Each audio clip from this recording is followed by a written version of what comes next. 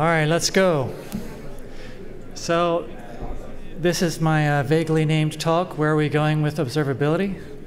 It's a ploy to make sure that I can disappoint you regardless of what you came in for. So, I'm Adrian. I work at Elastic. Um, and I uh, work in open source, and um, recently um, we're often in OpenTelemetry. And uh, this includes Gen AI. We'll talk about the Gen part. Um, and I wanted to, to warn you all, I'm uh, only a few months in. On the bright side, um, I still remember pains, which may be useful for some of you who have just gotten started or, or haven't yet yourself. And um, this is the agenda. And on, on the path to disappointment, I'm going to give everyone a chance to be disappointed uh, throughout, um, regardless of where you're coming from. Um, you might find something boring or too, too deep, um, many chances here.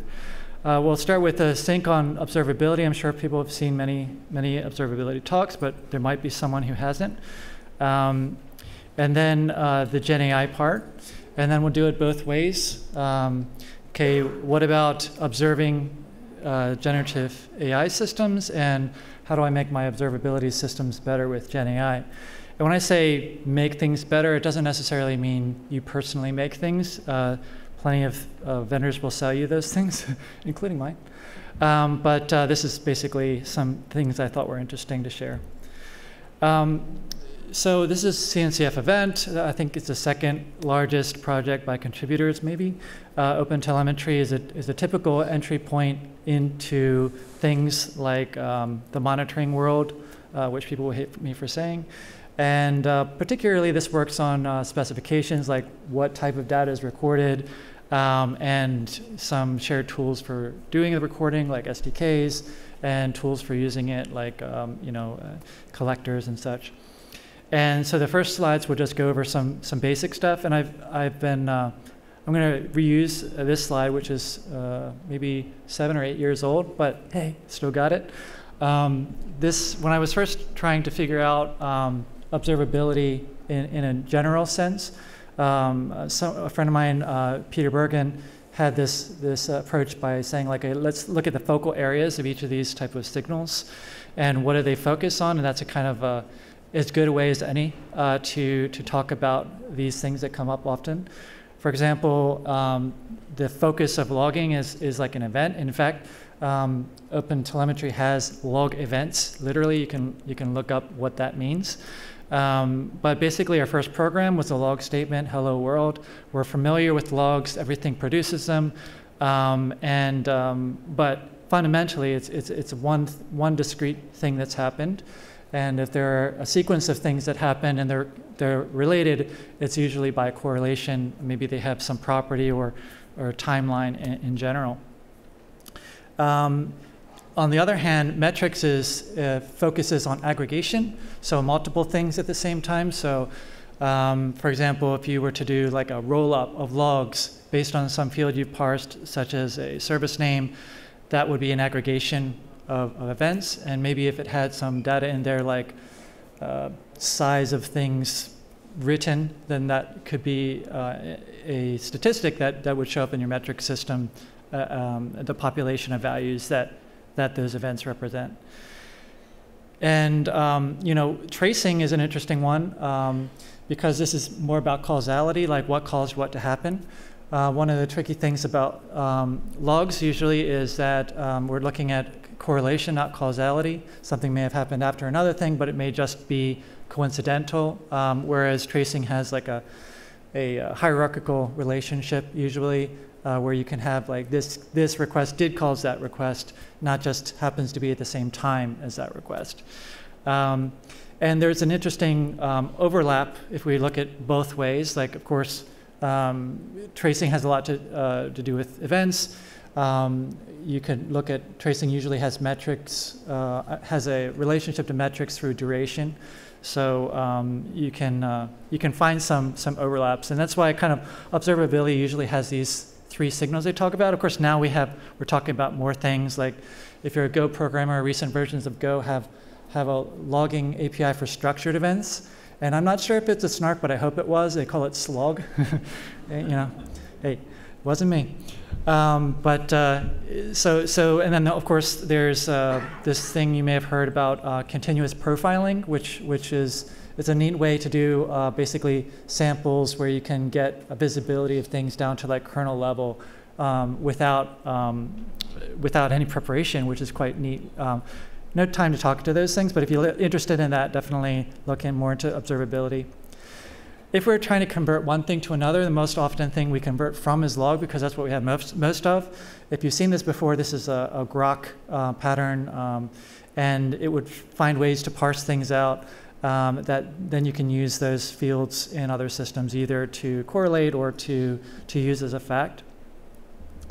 And you know, when you have uh, things pulled out of your log that you, that you find in common, like for example, the pod name, um, you know, anything that, that, um, that can be used to stitch these together is helpful when you're navigating your metrics or your dashboards or whatever. Um, and you, do, you only have a, a little constraint there, which is that a metric usually you can't like unroll into like the million requests that made up that metric. So you can't you know, get um, take a metric and turn it into a bunch of request IDs. Um, whereas the things that are more like event-based, you can you can go the other way with, and that's why it looks a little bit asymmetric there. So um, the main point of these type of signal talk is that we, you know, it's part of our job as technologists is to, you know, leverage strengths of tools and not not be, um, uh, you know, using one thing for everything. Um, logs are perfect for things like monoliths where everything is always in the same box. Black boxes, for the same reason when I say black box, I mean like some system you can't really affect, like a, a cloud platform. Like, say, if you're using um, Microsoft Azure's OpenAI, you can't tell them to put your code inside of it. The only thing you can do is like pull its event hub feed and like get some information that it's willing to tell you. Um, those are logs, right? Um, and then, of course, our favorite exceptions. When errors happen, they usually are in logs, right? So stack traces, things like that. We love metrics because, um, you know, as systems folks and platform folks, we have many things going on, and we want to be able to understand patterns of the population of services.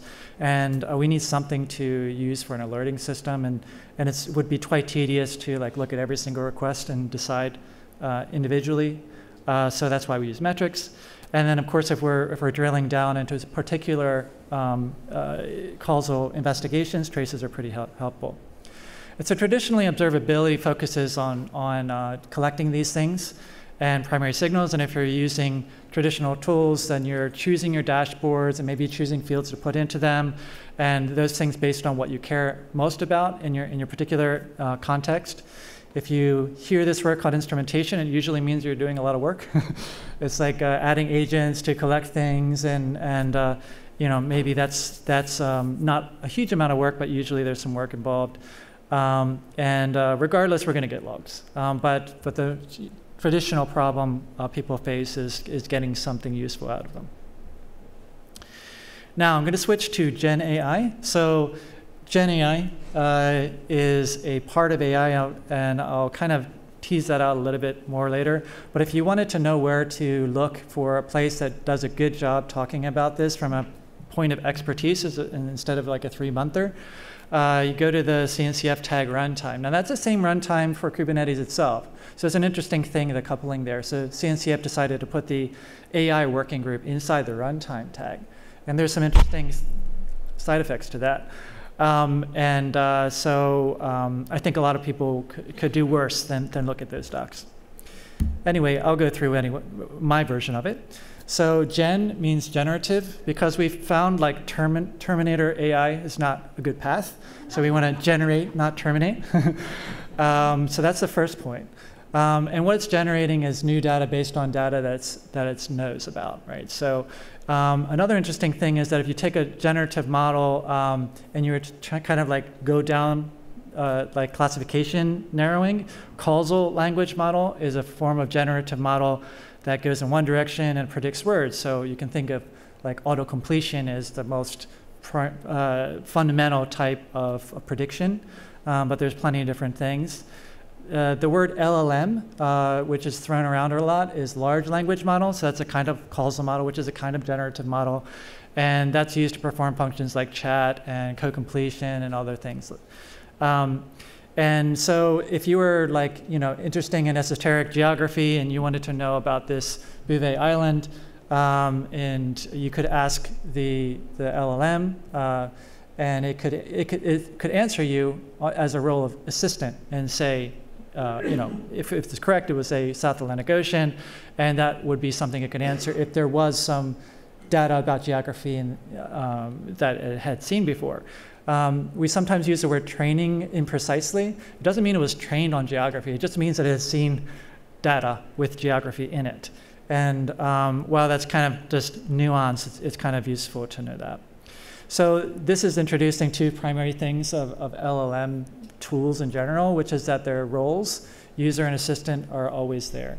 So when you say like AI assistant, it could mean anything from chat uh, or something that uses an LLM assistant is a, is a word that's, that's common in that uh, jargon. Um, what we like about LLMs often is that they know what we mean. Like I can't um, write a SQL query and have it just like understand, oh, I just misspelled this column. like uh, even worse, if I tried to uh, use the wrong syntax, it would fail, right? These are strict systems. Whereas uh, in LLM, uh, there's a statistical relationship with misspelled words to the correctly spelled ones. And so that's why things like chat kind of work themselves out and uh, can compensate on a slightly off input. And they're, they're pretty helpful for user-based systems for that reason too. Um, they often know multiple languages. Qwen is a um, large language model that, that's free download, Apache licensed from Alibaba and that one knows dozens of written languages. So if you wanted it to respond back and forth about a topic that it was that it had seen in English, it's perfectly happy to do that. This happens to be Malay. I, I used to live in Malaysia. um, and uh, one of the funny, uh, tricky spots of LLMs that people talk about often is hallucination. Uh, and this is where you get some nonsense responses or just something that's assertively said factually incorrect. and that's because they, uh, LM does not necessarily know the difference between correct uh, or not. It just has a statistical relationship. Um, and where something's missing, it may just fill the gaps. Like if you put somebody on the spot, you know, there's different ways someone could respond to that. They can make something up or they could, you know, shirk. They don't, they don't often say, no, I don't know, but they, you know. Anyway, there's some mitigation approaches to this. Um, different models uh, have uh, more uh, data in different areas that they were trained with, and also the amount of parameters that the, the model is, uh, has, uh, which has a direct relationship to usage, but uh, that can help with it. There are many approaches. But basically, if you were to talk about Bouvet Island and ask what the capital is, well, there's no capital, it's just penguins there. Uh, I use this example because I used to work at Netflix and we were working on DNS technology. We are thinking, what's an ISO code that's actually defined that has no permanent population? and uh, so we would, you know, in our test, black hole this island.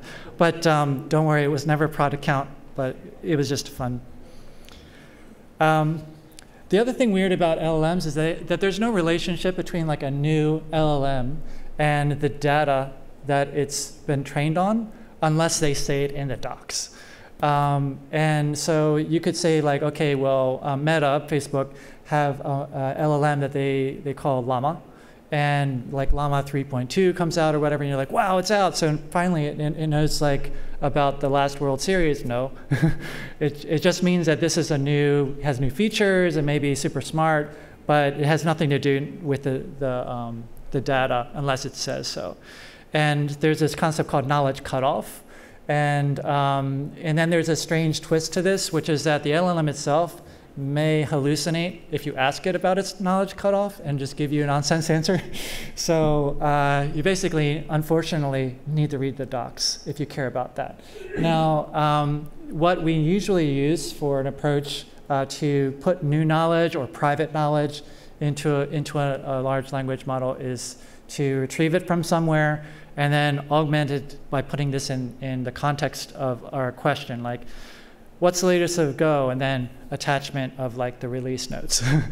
um, that type of approach is typically called RAG, but there's many, many different nuances of how to put things into context so the LLM might know more information or private information um, that, that it hadn't seen in its uh, training. So, uh, you know, with that word assistant, GenAI is frequently used for assistance and assisting us. Um, and that's the thing that, that leverages the strengths because, you know, when you're dealing with assisting humans, they misspell things, they talk in different languages and stuff like that. Um, they may have different knowledge that they are supposed to be uh, uh, having as, as an implicit. Um, and also, I didn't talk about it yet, but LLMs can be quite uh, slow as compared to like a database query. Uh, so you could, could be spending 30 seconds to get an answer. And, uh, but if the human decides that there's enough value there, they're going to be okay with that. just, just make sure that they see the ticking thing. Um, so finally, we've covered the first two topics. Let's try to connect them. So observability and GenAI. Um, so like I said in the beginning, we can do it both ways. Uh, if we're talking about uh, AI observability, then we're talking about monitoring, sorry. Uh, and if we're talking about observability with AI, we're talking about like making our, our stuff better by using um, technology that is that's employing LLMs, for example, inside of the um, network architecture of it. So let's start with uh, observability of the AI stuff. Um, one thing that's very scary is people say like, okay, well, I've got Gen AI, and, and, like now I need to like hire a million people because nobody knows about this stuff. And if you think of it like this, like OpenAI is is fundamentally a REST API. We have used REST APIs before, um, so it's just a stack of technology. Of course, it's an interesting like weird thing in the middle of it, but it's still an HTTP service and we can treat it like an HTTP service as an observability system. Maybe the fields we use are, are different, but um, what you'll notice is instead of blaming the database, you can blame the LLM. So that's basically what we need to get to, right? Yeah. so that big, that big line there is a, is a call to an LLM to ans answer a question from a Flask route at the top. There's no reason why you should think of an app that has GenAI in it any different than you do your other stuff. But then I kind of lied a little bit. there are some things that are important about GenAI with observability, and part of it is because of the way that the community works. Um, if you think of it like GenAI is sort of like more close to um, data science and machine learning than it is to like system and platform engineering. And there's also um, a reality of of like accuracy and interest in evaluating different types of responses there. So sometimes the users themselves and the developers will have different needs than a traditional observability platform will have been set up for. Um, so Langtrace is, a, uh, is an open source product, and, and, one of the founders there I, I collaborate with in the OpenTelemetry uh, SIG. And, and I asked whether there are three pillars of, of observability for Gen AI. And uh, the, the, tracing is, is certainly in interesting, and I'll just call out the thing that's, that's different. Um, basically, success rate uh, is subjective, right? Uh, did, the, did the request complete successfully, like HTTP 200? Was it actually the answer that was helpful or not? Or two different answers, right? Um, also, cost, um, because uh, I wish I, I, I wish I saved the tweet in a way besides clicking on it, but um, basically, I saw something where someone had a, a GenAI project, and they decided not to run CI for a pretty good reason because every every CI run would cost them 20 bucks, and uh, so there could be some significant costs. Um, this idea of evaluations, where you have a system where, for example, this assistant is coming back with with responses sometimes to the same question, and you want to figure out what is the accurate like what was the precise answer. And um, so that can be evaluated in terms of automation, like maybe another LLM is, is supposed to inspect the question and the answer and, and make a score about whether it was you know, likely to be useful or not. And it could also be a user feedback loop. And if it's in a feedback loop, then what could happen is that that data could be fed back into a, um, a data set, which then could be used to kind of improve the next um, type of questions. And that's a very rich experience if you think about it from, from um, observability standpoint versus a, a typical um, like chart. Um, some more stuff, just because you know I've got it on here, might as well say. uh, some challenges that I've, I've noticed is that uh, OpenAI is like the behemoth, Like it's like Amazon used to be uh, for for cloud. Sorry, Amazon, and that that means that like everybody anchors things towards what OpenAI does, even though it's actually a quite diverse ecosystem. There's many, many, many, many model providers and frameworks and things like that, and so it's easy to anchor on what OpenAI does, uh, uh, and that could be over anchoring. Um, the other thing is that because not all of the features are actually in a public issues list, um, you don't necessarily know what's going to be released until someone already releases it. And because it's a very fast moving environment, that can lead to uh, users demanding something that's only days or hours old. And so that's kind of for, for platform engineering, that's a challenge um, to kind of um, keep up with these feature demands that are, that are happening that, that fast. The other thing interesting for observability is that the, uh, because of this evaluation system, it implies you're collecting request and response data, which has, of course, the normal things you would expect. You have uh, PII concerns, you have volume concerns, and, and, again, from the Netflix example, back in the day, if I asked somebody to, to make the request response system, it would cost more than playing the movies. so you have to be careful with things. Of course, that doesn't mean every request is going to result in an LM request or that the rate of those that makes this a big problem, but it's, it's something that's anchoring. Uh, while I didn't talk about this idea of token, if you think about like any machine, like you've got quarters to play the game, you could use tokens to play the game. Um, token is like a, a, metering unit in, in uh, LLMs, both the input and the output, and it's typically how things are built as well. And because these are spend metrics, and it doesn't matter if it's text or video or audio, token is, is, the, is the way um, people are often wanting to see that while they're acting. And you can see this if you actually were to go to ChatGPT, it would tell you the tokens that are, that are being used. And so with a typical um, telemetry setup, you have an asynchronous relationship with statistics. Is shipping the data out, you know, and then you've got some stuff going on. Um, in this case, it's not like the first time this has ever happened, but there's a um, anchoring towards like seeing, seeing what, what I'm spending kind of in terms of tokens. Um, and so that makes it a very interesting spend system and biz metric all at the same time. Um, the other thing is that just that like, uh, I, I, remember when I first started in the SIG, people were talking about like how many months one vendor was older than the other vendor. so like it's a fairly new space and there aren't really a lot of common tools with regards to observability uh, and that's a, that's a work in progress, um, but uh, so it's not as mature there.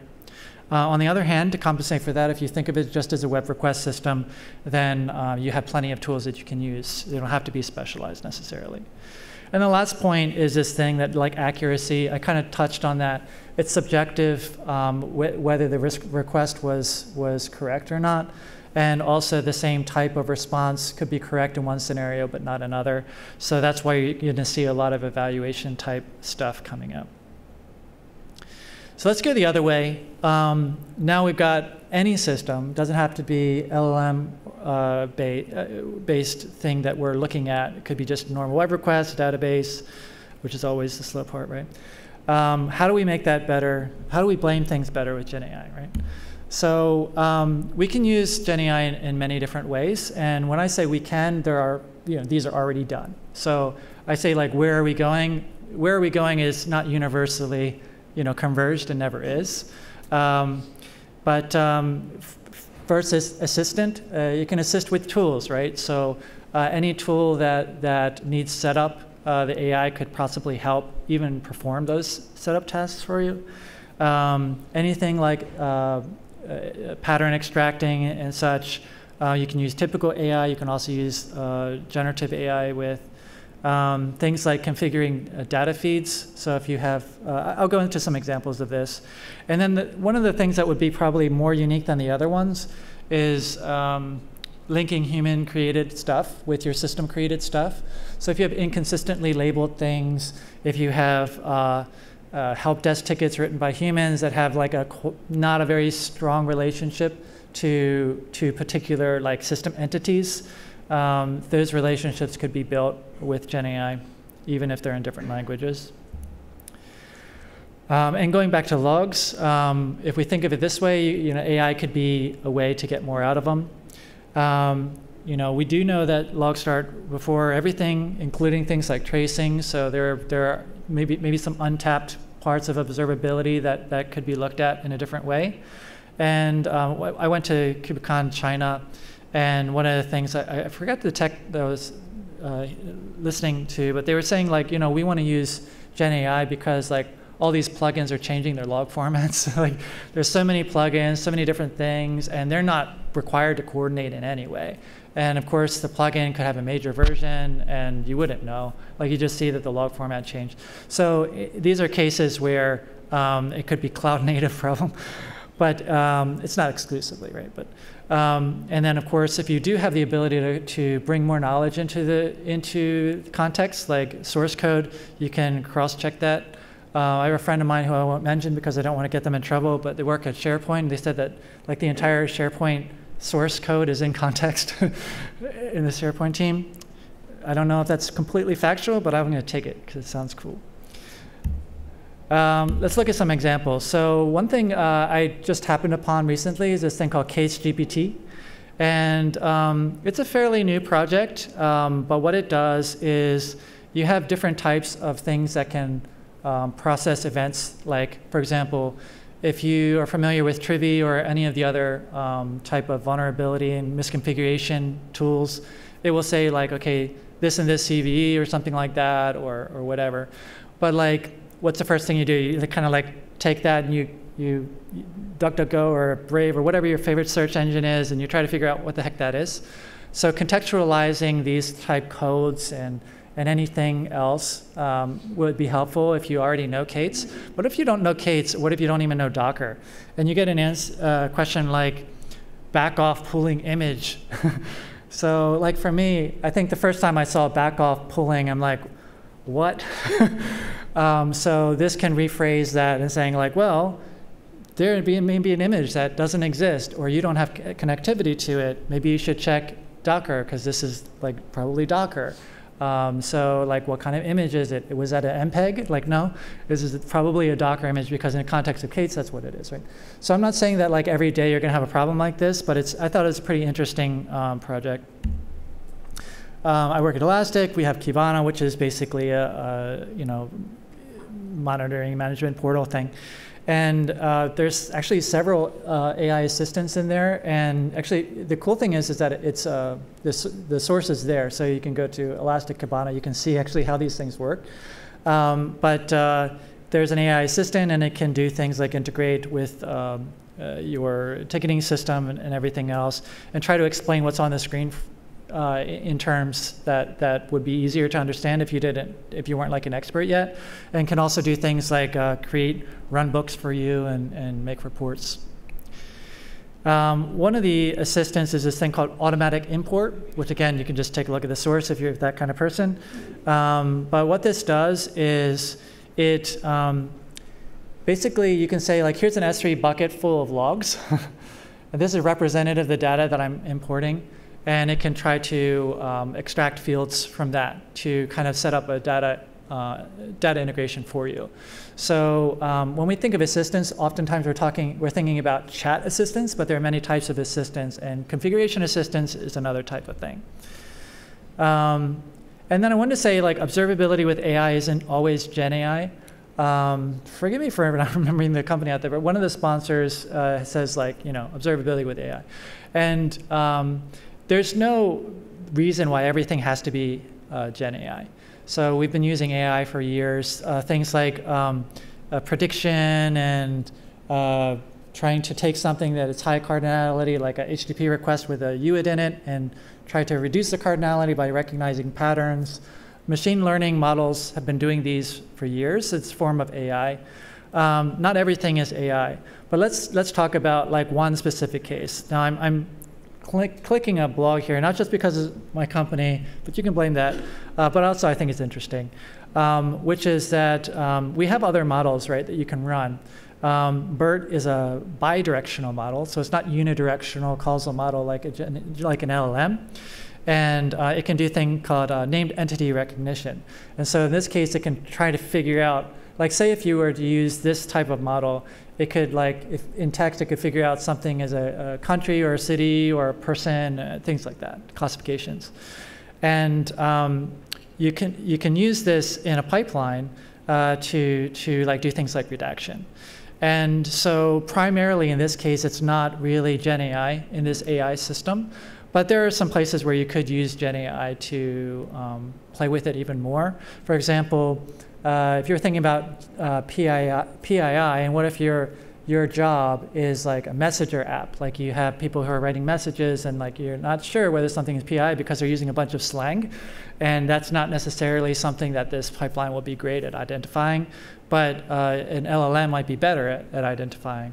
Or you want to check and see if something is technically sensitive but not, sens not sensitive in context or vice versa. So you can kind of like you, a person, not you necessarily, uh, but uh, someone can, can make a system like that, mixing and matching.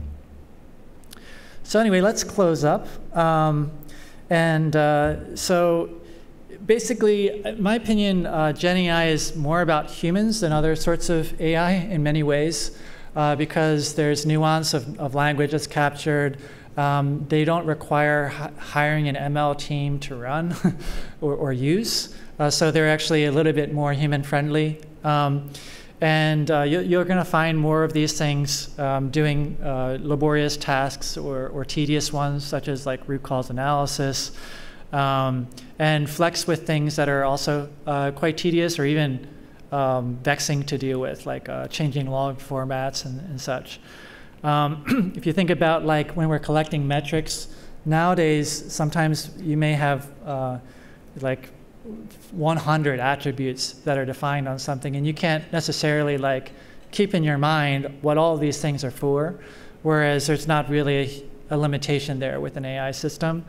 Um, so, um, and then of course, non-traditional facts, which makes it a little bit more creative and interesting as a, as a uh, platform architect. When you can bring in things that are non-traditional sources, you have more more ways uh, to to solve a problem than you did um, and I, have put some some links here. Again, uh, these aren't link links because I, I didn't want to like uh, shower this with QR codes.